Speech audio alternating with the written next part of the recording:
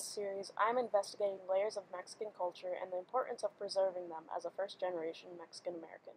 To do this, I've been taking time to interview native born Mexicans in my family, including my elders, and researching cultural traditions slash events. Doing this allows me to understand their impact so one day I can pass it down to the next generation, but I also aim to educate others about my heritage as well. This led me to question what parts of Mexican culture can and should be highlighted. Without the knowledge of these more obscure aspects and why they're important, they will be lost to time and can never be passed down.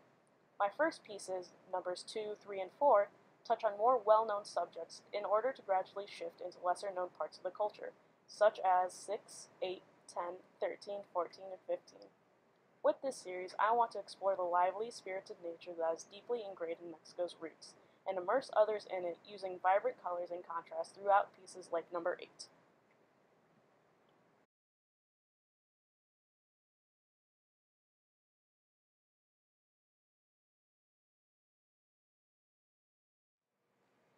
Through this series, I am investigating the negative effects of fast fashion. Fast fashion companies purposely use low quality materials so that clothing must be replaced quicker than in past decades. This allows manufacturers to produce larger volumes and increase profits.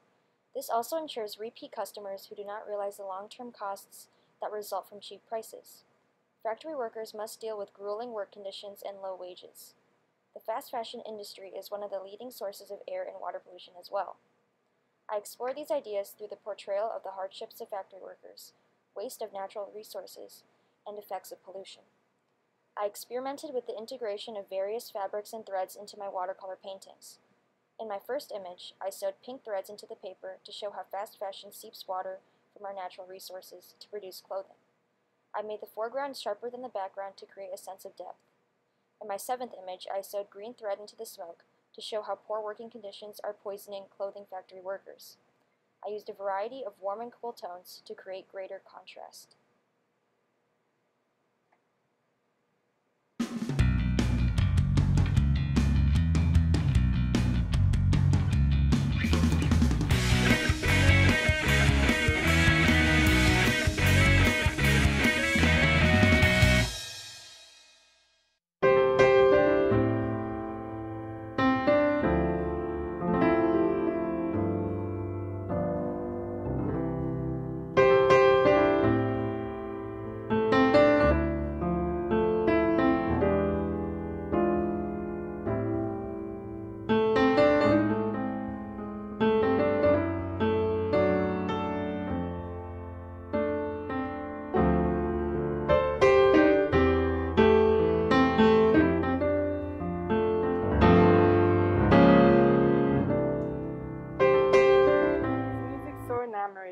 Wanted to investigate the dynamic visual beauty, camaraderie, romanticism, and harmony that music brings to our lives.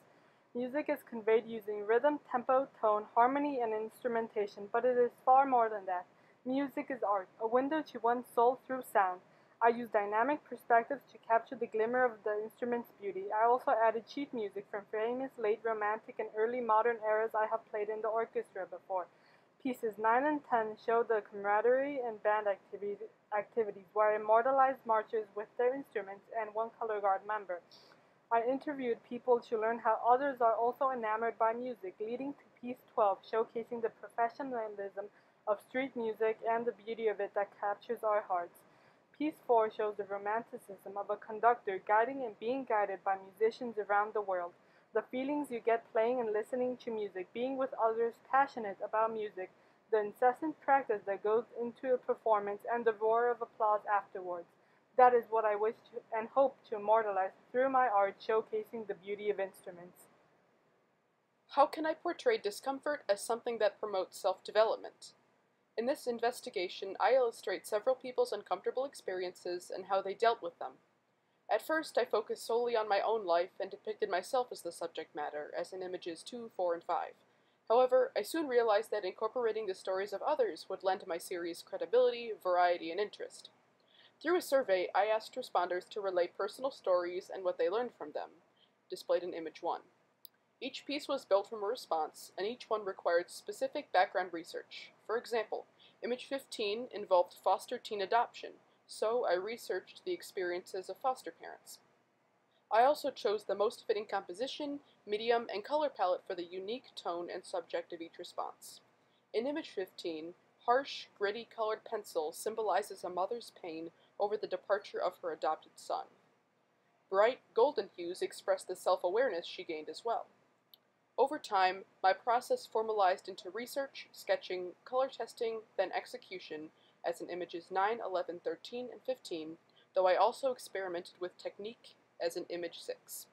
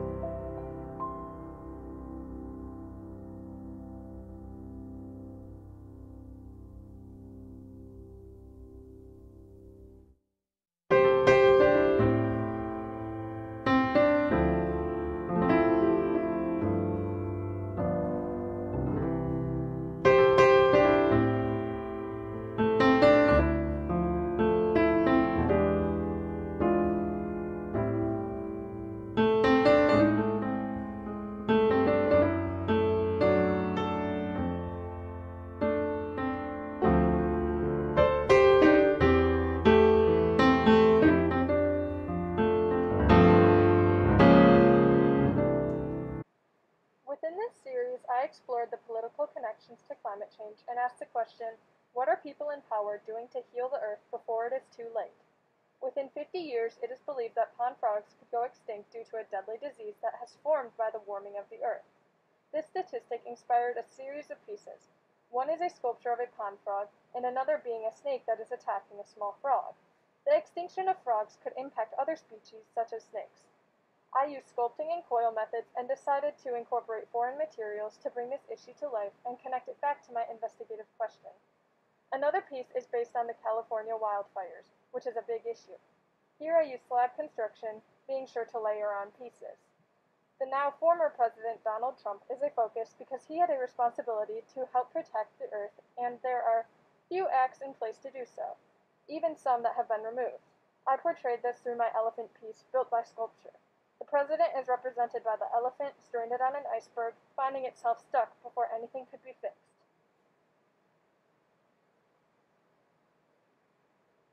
Scuba diving has given me the amazing experience of personally viewing coral reefs and witnessing concerning issues. Coral reefs are dying. I'm investigating the causes, including pollution and global warming, while also investigating effects such as coral bleaching, effects on other species, and even disappearance. Using vibrant colors, I brought the, out the life and the beauty of the reefs in their glory. This was used in piece number 11, where the entire base of the reef is in the shape of two hands holding up the reef. I wanted to emphasize the natural beauty of the reefs by incorporating the vibrant colors and intense lighting effects.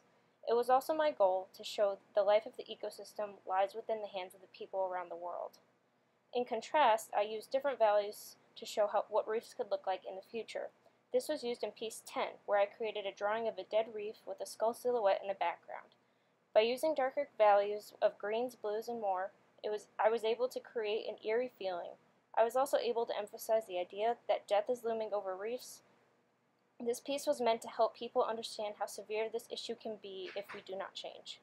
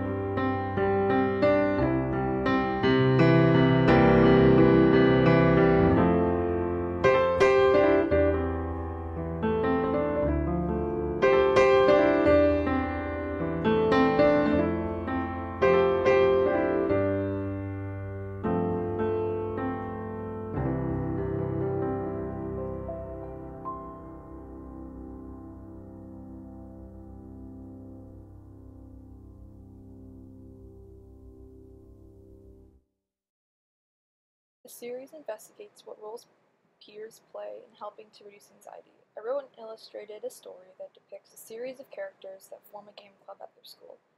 Throughout my story, they learn how to work together to overcome their issues. In Piece 12, my characters are at a fictional restaurant and help push my main character Sheldon, who struggles with social anxiety, to overcome his fear of ordering food. Through facial expressions, gestural poses, and darker colors, the piece conveys the feeling of anxiety and awkwardness he feels while facing his anxiety. In Piece 10, they confront school bullies and must overcome their fears and stand up for one another. I used shape language to design the bully characters by using their sharper shapes to make them seem more interesting, contrasted to the main characters' rounder designs, which makes them seem more friendly.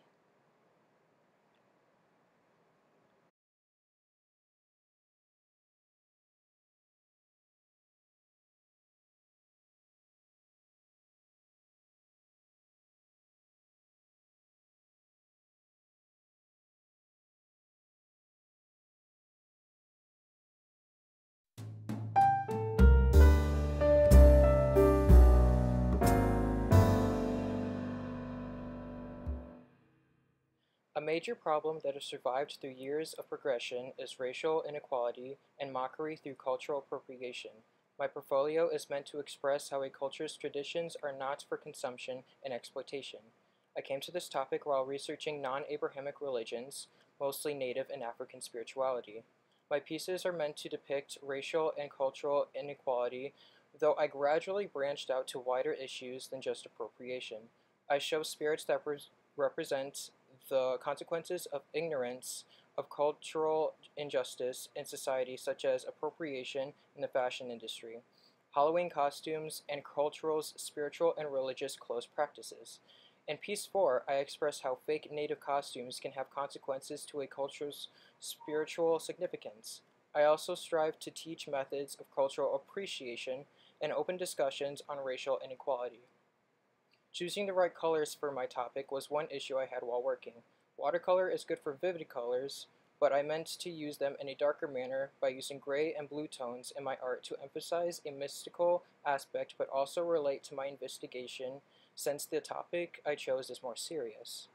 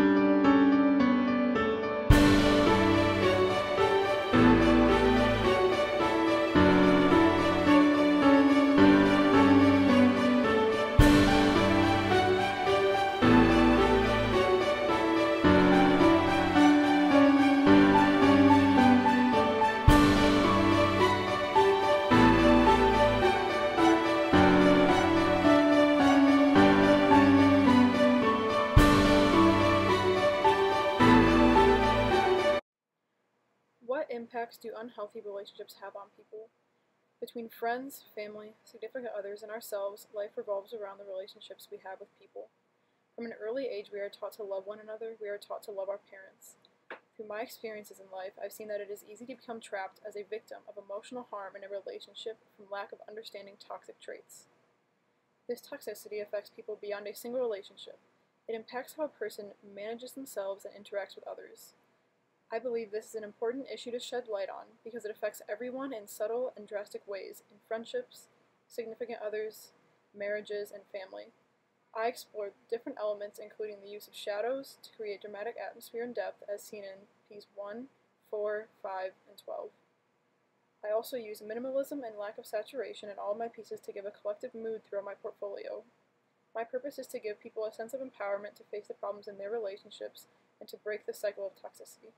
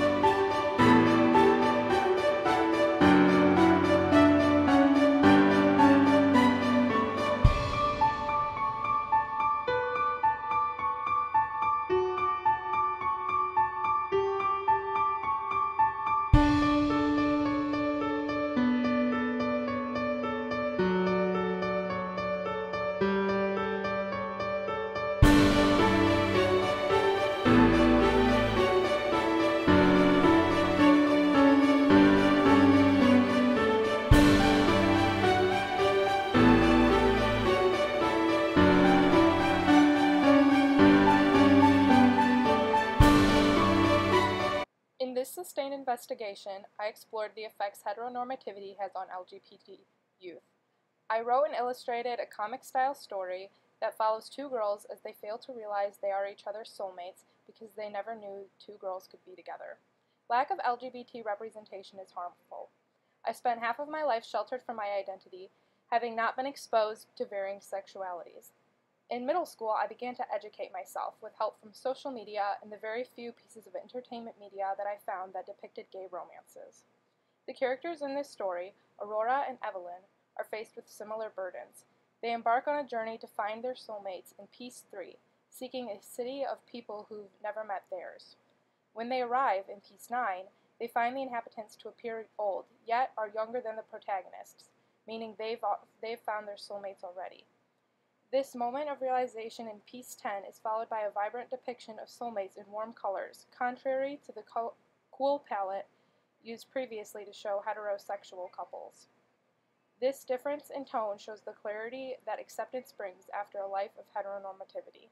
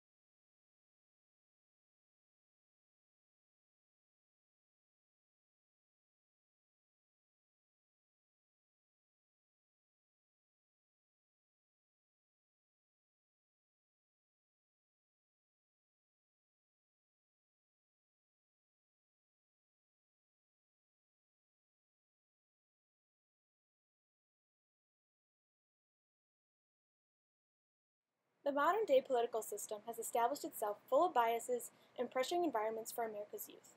How do children coming of age find themselves politically in the United States, and what obstacles are they faced with?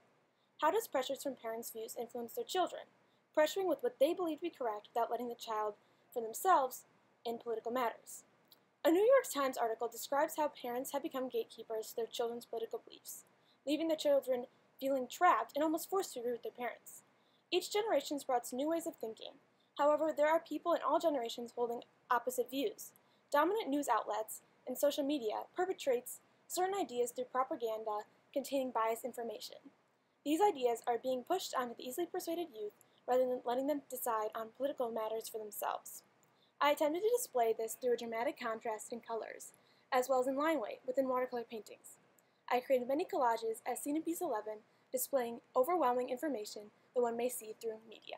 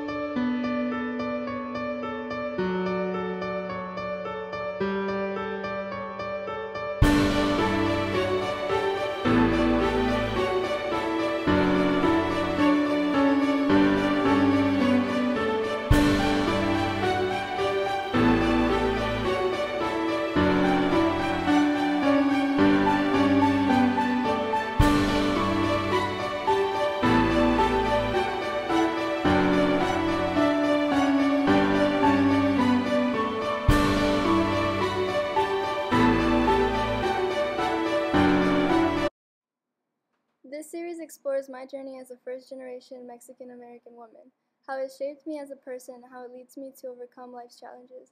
Many of my pieces are paired to illustrate traditional values and more modern ways of thinking, like 9 and 10. On one hand, I demonstrate moments in my childhood where I have been exposed to certain ways of thinking stemming from past generations. These beliefs are passed on subconsciously to younger generations. Acknowledging these old belief systems encourages you to act in accordance with what is aligned with you. As in other pieces, I demonstrate the effect of bringing awareness and change to these situations. I show this contrast by emphasizing shadows, use of angles, and color. My intent is to share and relate with others as well as to empower women.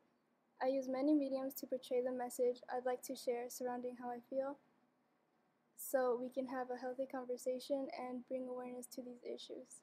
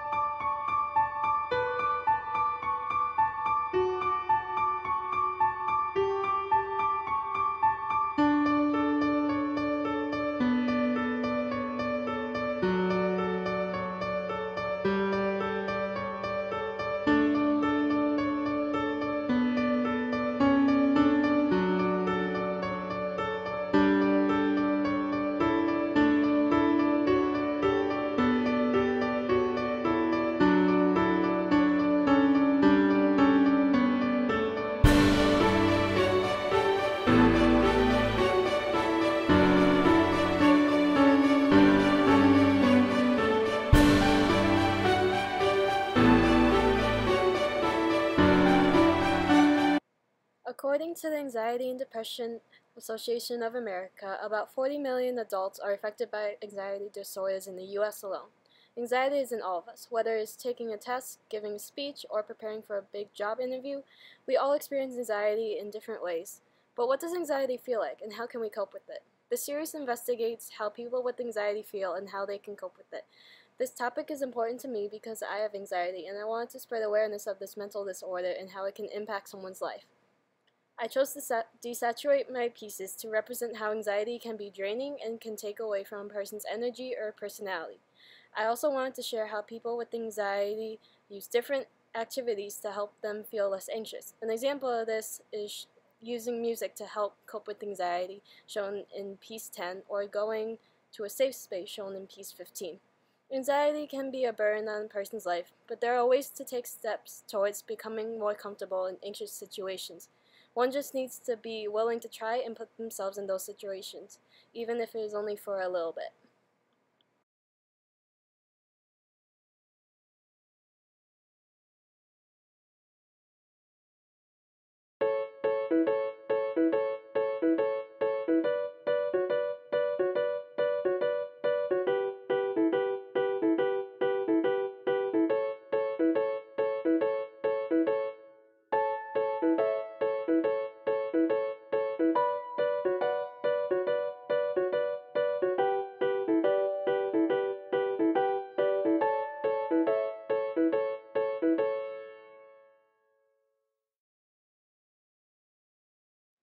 I have many fears and phobias I deal with in day to day life.